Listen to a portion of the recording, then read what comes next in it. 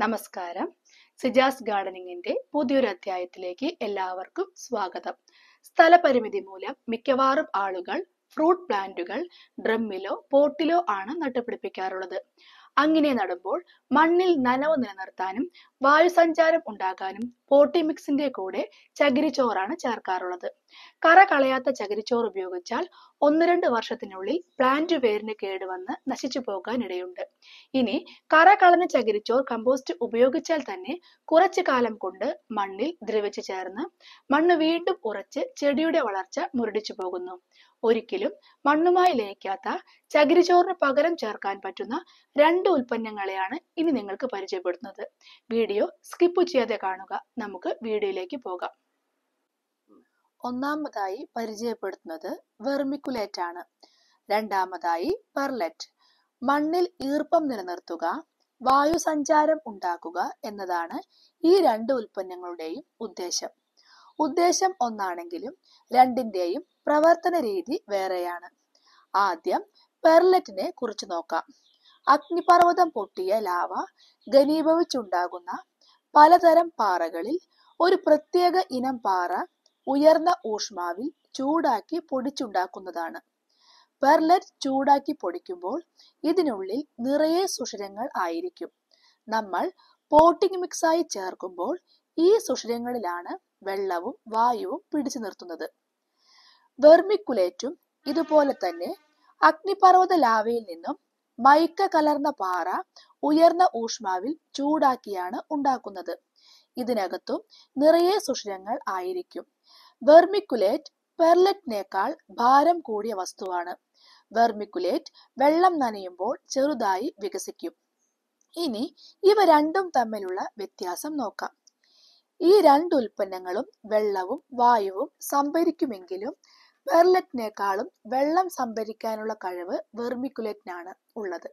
അതുപോലെ തന്നെ പെർലെറ്റിന് വെർമിക്കുലേറ്റേക്കാൾ വായു സംഭരിക്കാനുള്ള കഴിവ് അധികമുണ്ട്. ഫ്രൂട്ട് പ്ലാന്റുകൾ പൂച്ചെടികൾ എന്നിവയ്ക്ക് പോട്ടിമിക്സ് ഉണ്ടാക്കുമ്പോൾ ഇത് രണ്ടും പോട്ടിമിക്സിൽ ചേർക്കുന്നത് വളരെയധികം ഗുണം ചെയ്യും. ഞങ്ങൾ ഇത് ഉപയോഗിച്ചു തുടങ്ങിയിട്ട് മൂന്ന് വർഷത്തോളമായി. ഒന്നര വർഷം മുൻപ് വരെ ഇത് രണ്ടിന്റെയും വില അമ്പത് രൂപയിൽ താഴെയായിരുന്നു. ഇപ്പോൾ വെർമിക്കുലേറ്റിന് ഒരു കിലോ തൊണ്ണൂറ്റിനാല് രൂപയും പെർലെറ്റിന് നൂറ് രൂപയുമാണ് വില. വെർമിക്കുലേറ്റ് വളം കടകളിൽ ഇപ്പോൾ ഇവിടെ വാങ്ങാൻ കിട്ടുന്നില്ല. അതുകൊണ്ട് ഫ്ലിപ്കാർട്ടിൽ നിന്നാണ് വാങ്ങുന്നത്. നമ്മൾ കൂടിയ വിലയ്ക്ക് വാങ്ങുന്ന എക്സോട്ടിക് ഫുഡ് പ്ലാന്റിന് പോട്ടി മിക്സ് നന്നാക്കി കൊടുത്താൽ എത്ര കാലം വേണമെങ്കിലും നമുക്ക് പോട്ടിൽ വളർത്താം. നന്നായി കായ്ക്കുകയും ചെയ്യും. ഇനി ഇതുകൊണ്ട് പോട്ടി മിക്സ് തയ്യാറാക്കുന്നത് എങ്ങനെയെന്ന് നോക്കാം. ഇന്ന് പ്ലാന്റ് ചെയ്യുന്നത് അലോബൂക്കറ എന്ന പ്ലം പ്ലാന്റ് ആണ്. നമ്മുടെ കാലാവസ്ഥയിൽ കായ്ക്കുമോ എന്നറിയില്ല. എന്നിരുന്നാലും ഒരു പരീക്ഷണം നടത്തുകയാണ്. ഓൺലൈനിൽ നൂറ്റി അമ്പത് രൂപയ്ക്ക് വാങ്ങിയതാണ്. മണ്ണെടുത്തിട്ടുള്ളത് ഇതുപോലുള്ള മൂന്ന് പോട്ടിലാണ്. ഇതിലേക്ക് ചേർക്കുന്നത് ഒരു പോട്ടിന് നൂറ്റി അമ്പത് ഗ്രാം പെർലറ്റും നൂറ് ഗ്രാം വെർമിക്കുലേറ്റുമാണ് മൂന്ന് പോട്ട് മണ്ണുള്ളത് കൊണ്ട് നാനൂറ്റമ്പത് ഗ്രാം പെർലറ്റും മുന്നൂറ് ഗ്രാം വെർമിക്കുലേറ്റുമാണ് ചേർക്കുന്നത്. ഇത് കുമ്മായം ചേർത്ത് പതിനഞ്ച് ദിവസം കഴിഞ്ഞ മണ്ണാണ്. ഇനി ഇതിലേക്ക് ചേർക്കുന്നത് ഒരു കിലോ ചാണകപ്പൊടിയാണ്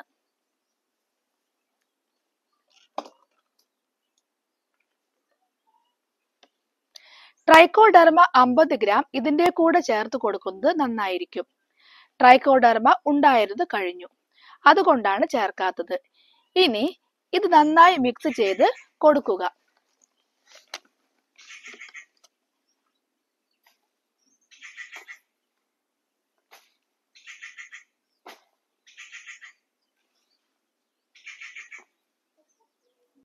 പോട്ടിന് തുളയെല്ലാം ഇട്ട് അടിയിൽ ചിരട്ട നിരത്തി വെച്ചിട്ടുണ്ട്.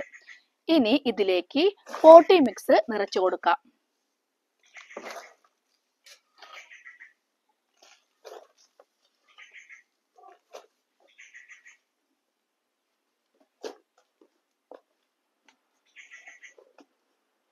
പോട്ടിന്റെ മൂന്നിൽ ഒരു ഭാഗം നിറച്ച ശേഷം അമർത്തി കൊടുക്കാം.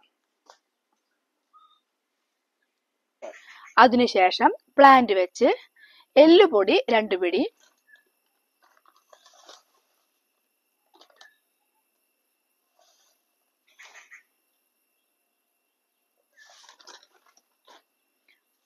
വാം അമ്പത് ഗ്രാം.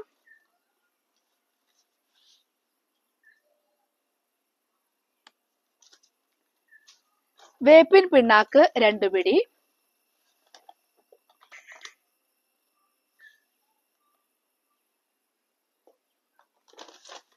എന്നിവ ചേർത്ത് ബാക്കി ഭാഗം പോട്ടി മിക്സ് നിറച്ചു കൊടുക്കാം.